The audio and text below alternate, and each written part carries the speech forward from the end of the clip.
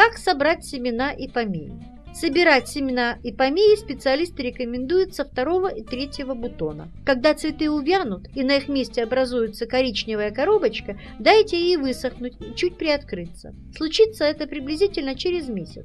Высыпьте семена из коробочки в бумажный пакет и напишите на нем название сорта. Как уже упоминалось, схожесть семена и сохраняют в течение 3-4 лет. И после цветения.